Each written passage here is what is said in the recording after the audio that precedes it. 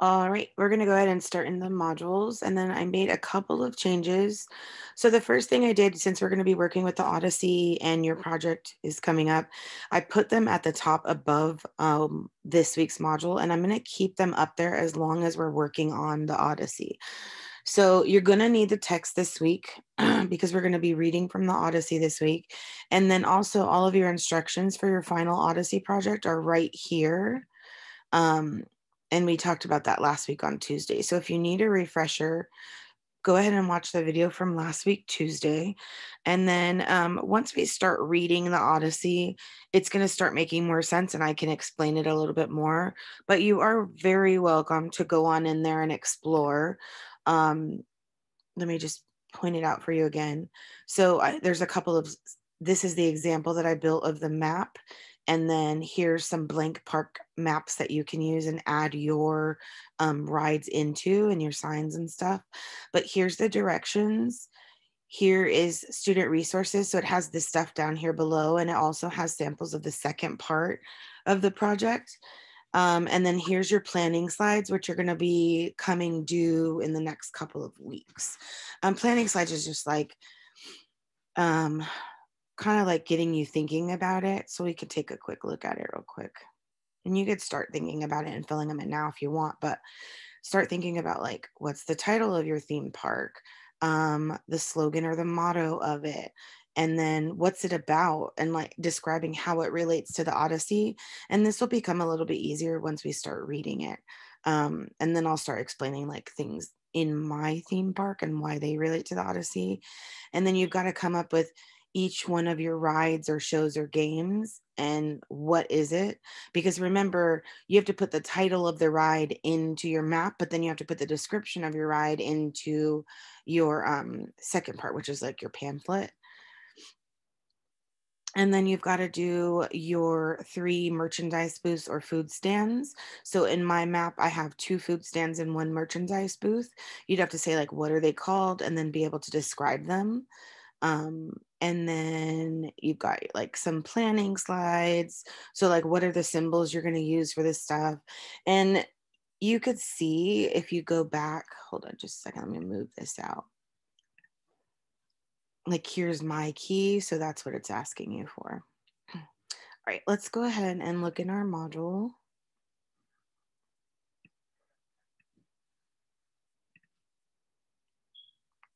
All right, here's our week at a glance for the Odyssey part one, and we're going to get through most of part one this week.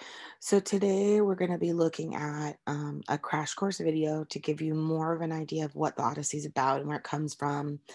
Um, and just a little bit more on the background. It's just a fun video by John Green, and he's the author of The Fault in Our Stars and a couple and a few other things. And then you guys are going to be doing a hero's journey comparison assignment with any heroes that you want. And then the biggest thing for today is that I need you to get permission from your parent to watch the Odyssey movie clips, and I will show you how to do that. Okay, so as far as the parent permission, I need you to have your parent read this and then fill out this part right here. And it says it's a quiz, but really it's just a survey. And everybody gets points whether your parent gives you permission or not. So you just put in your name, have your parents type in their name, and then are they giving you permission or not? And then you click submit and you get an automatic 10 points. Whether or not they give you permission, you still get points. I just want to know if it's okay with them. Um, and then I gave a um, a quick rundown of what what's going on in the videos. We're not watching the whole thing, but we are watching um, some parts. So like the part from this week is violent and i want to make sure that it's okay with your parents to watch it um, but it was rated pg-13 and did air on um, regular tv in 1997 um, so it's not like it's bad or anything it's probably a lot better than things that you would watch nowadays but i do need you to have permission for it. Uh, okay let's go back to the module all right, so let's go ahead and watch this crash course video, crash course video on the Odyssey. I'm gonna zoom in. Actually, let me stop share so I can maximize. Hold on just a sec.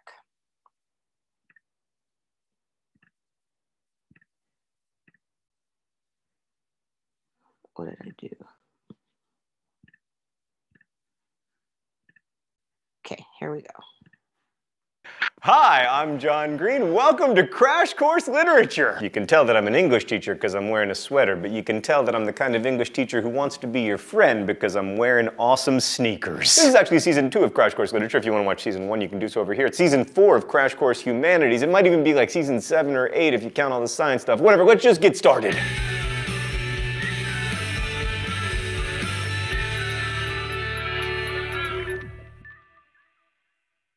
We're going to start at the beginning of literature, or at least a beginning of literature. Sing in me, muse, and through me tell the story of a man who lets all his shipmates die, lies to everyone he meets, cheats on his wife with assorted nymphs, and takes 10 years to complete a voyage that, according to Google Maps, should have taken two weeks. That man is, of course, one of the great heroes of the ancient world. Ladies and gentlemen, meet Odysseus, star of Homer's The Odyssey. Did I just say the odd at sea? It's a good pun. Not in the original Greek, though. Now, everyone knows that you can't properly enjoy a book until you know a lot about its author, so before we discuss the Odyssey, we're going to begin with a biographical sketch of Homer, the legendary blind poet of ancient Greece. What's that?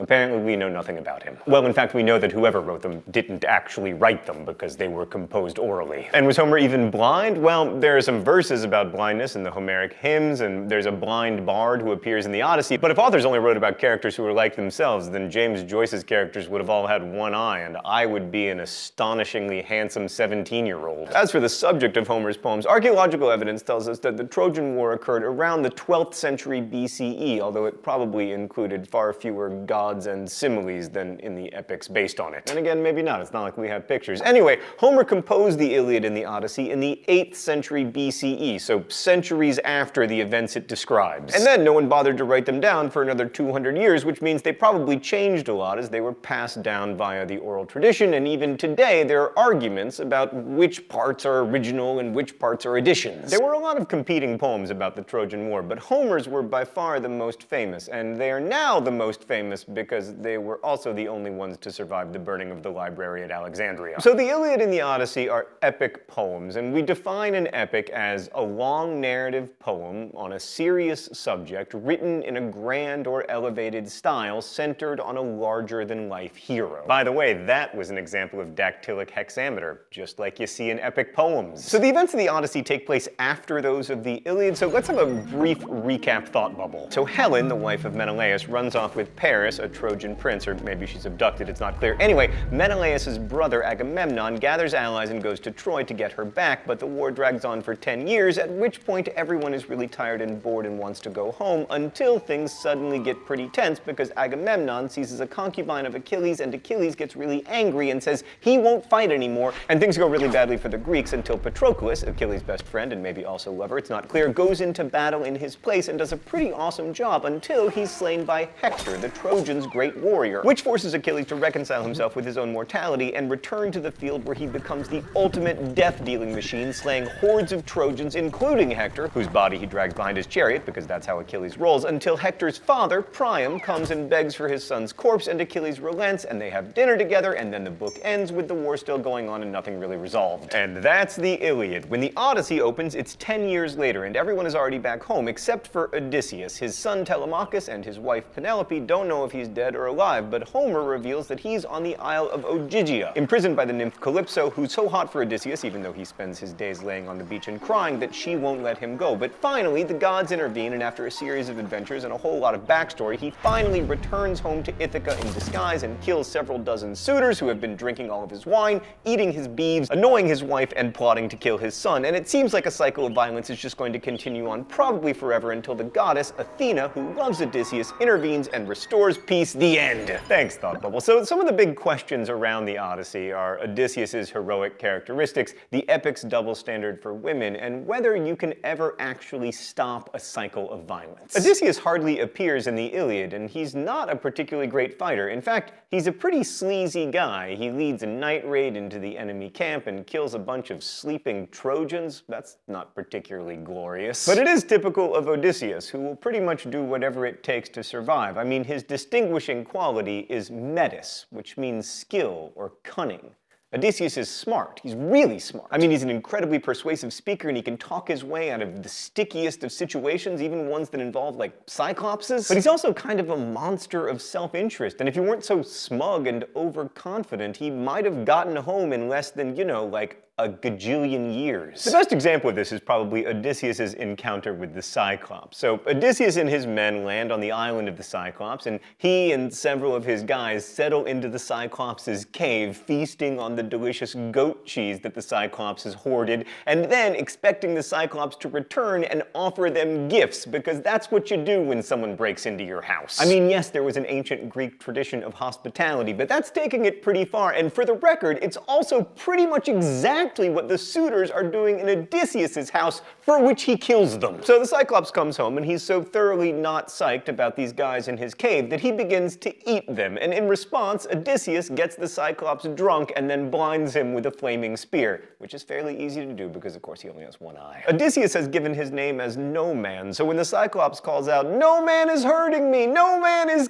killing me. The other Cyclopses don't come to his aid. Because, you know, they think there's no man hurting him. It's a pun. It's a blindingly good pun. But then, just when it seems that Odysseus might get away with it, he can't tolerate the idea that no man is going to get the credit, so he announces his actual name, causing the Cyclops to call down curses upon him, which culminates in all of his men being killed. Just as a rule of thumb, you do not want to be friends with Odysseus, and you also don't want to be his enemy. Just stay away. So Odysseus is a trickster and a liar and a pirate and a serial adulterer, and he's responsible for the death of a lot of people, and he also has probably the worst sense of direction in all of Greek literature. But is he a hero? Yes. To the Greeks, heroism didn't mean perfection. It meant that you had an extraordinary attribute or ability, and Odysseus definitely does. It's not for nothing that he's the favorite of Athena, the goddess of wisdom. I mean, she applauds all of his tricks and stratagems, and she encourages us to applaud them too, even though from our contemporary perspective, He's a pretty shady dude. Speaking of contemporary perspective, one of Odysseus's least stellar qualities is his attitude toward women. He's really big on this sexual double standard in which the exact same behavior types women as sluts and men as studs. Actually, the whole epic in general is incredible. Wait, why is my desk moving? Oh, the secret compartment is open. It must be time for the open letter. What have we got today? Well, it's Medusa, a representation of woman as a monstrous serpent. An open letter to the patriarchy. How are you so incredibly resilient? Also, please explain something to me. How is it that the only way for someone to become like a good, heroic, strong man is to have sex with lots of women? But if a woman has sex with lots of men, she's like tainted and impure and horrible. Patriarchy, I don't want to get too deeply into math, but in order for men to have sex with a lot of women, a lot of women have to have sex with men. That's it, that's the only way, patriarchy. So basically, you're saying that the only way for men to achieve manliness is for women to fail at womanliness. It's bad, actually, it's evil. I hate you. Best wishes. John Green. Yeah, so the whole epic is incredibly paranoid about female sexuality. I mean, the story that haunts the Odyssey is that of Agamemnon, the leader of the Achaeans, who returns victorious from the war only to be murdered by his wife and her lover. And then, when they meet in the underworld, Agamemnon's ghost warns Odysseus that he'd better come home in secret because Penelope might try and have him killed too. And the misogyny doesn't end there. I mean, this is a book full of monsters, and Cyclops aside, a lot of them are female, like the sirens who lure men to their deaths, or Scylla, who's basically an octopus with teeth. And then, of course, there's Charybdis, a hole that sucks men to their doom. You can explore the Freudian implications of that one over at Crash Course Psychology. Meanwhile, Odysseus sleeps with like every manner of magical lady and nearly marries an island princess, but he assures us that he was always true to his wife in his heart. Which is nice, but it would be even nicer if he were true to his wife in his pants. Stan, who is ever the stickler for historical accuracy, would like me to acknowledge that Odysseus didn't wear pants because they weren't a thing in Greece yet, so he wasn't true to his wife in like his toga or his loincloth or whatever. Anyway, even as he's sleeping around, Odysseus is incredibly concerned with whether or not Penelope is chaste. If she isn't, he'll likely kill her. After all, he later executes all the housemaids for sleeping with the suitors, and he's not even married to them. The epic seems like it's building to a climactic scene wherein Odysseus is gonna test Penelope Penelope's faithfulness, but instead it's Penelope who tests Odysseus. When he reveals himself to her, she doesn't recognize him. She forces him to prove himself by speaking the secret of their marriage bed. And only then does she embrace him in one of the most beautiful lines in all of Homer.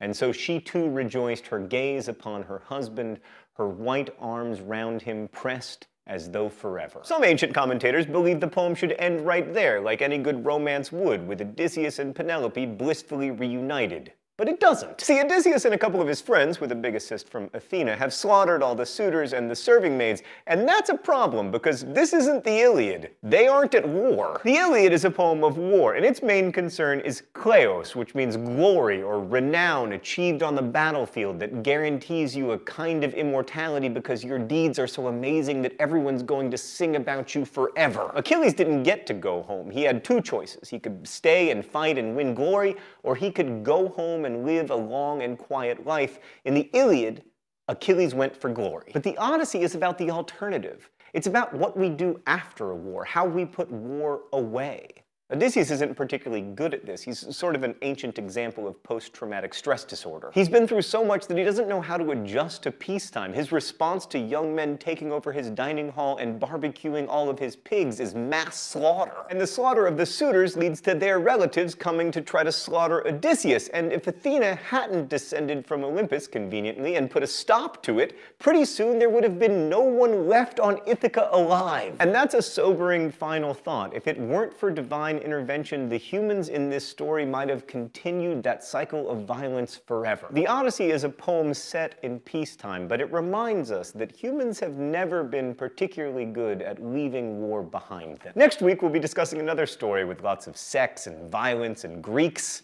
Oedipus. Thanks for watching. See you then. Crash Course is made with the help of all of these nice people, and it is brought to you today by Crash Course viewer and subbable. Okay let's go back to the module. Just kind of explains things and has you look at the Odyssey in a different way and gives you sort of a heads up. Um, let's go ahead and look. So last week we talked about Hero's Journey a lot. And what I want you guys to do today is um, these are sort of like a refresher to watch like Luke Skywalker's Hero's Journey from Star Wars. And then here's Katniss Everdeen from um, I'm having a brain fart right now from the Hunger Games trilogy. This is like her um, example of the um, epic hero. And then what I want you to do is take those and you're going to add in the information that you know about characters you like. So I've already filled in like what the unusual circumstances. There's these on the left are all of the characteristics of the epic hero, right? And we talked about this last week and you also had a quiz on it. And then Luke Skywalker, these are what those is. So like leaves family or land and lives with others. He leaves Tatooine to learn with Ben Kenobi. And another one is hero always has supernatural help. So Ben Kenobi's ghost on the force um, the hero must prove himself many times while on an adventure. So he has to destroy the Death Star and learn from Yoda, who could also be like the supernatural help, I guess.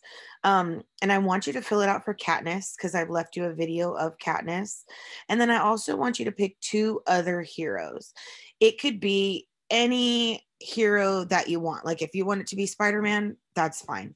I just want you to explain how Spider Man fits the epic hero um, qualities and and characteristics.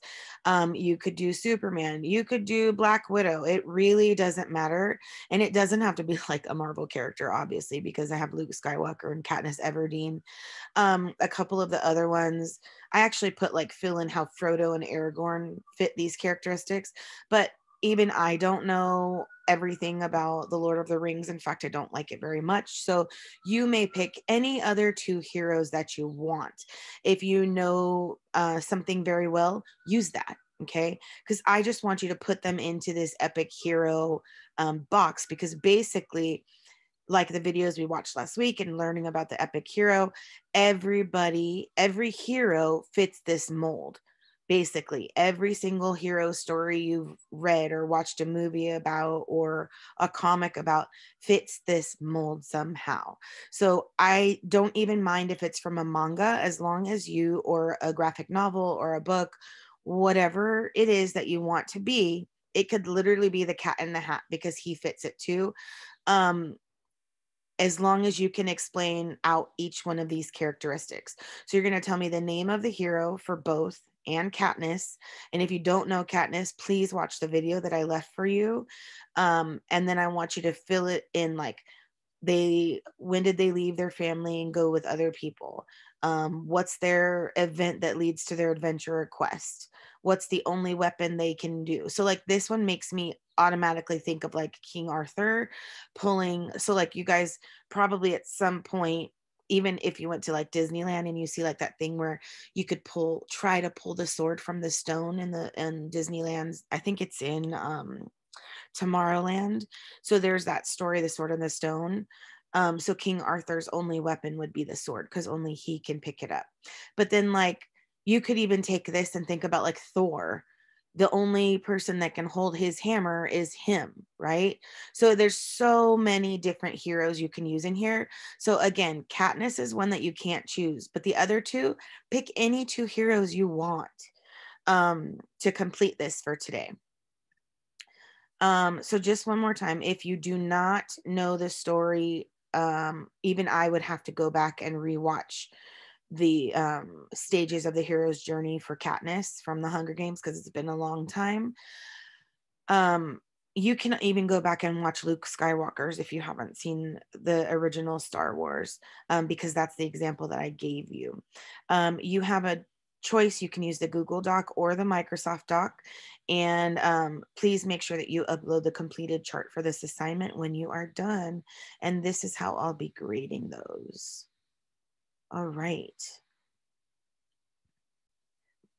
Okay, guys, before I let you go, does anybody have any questions?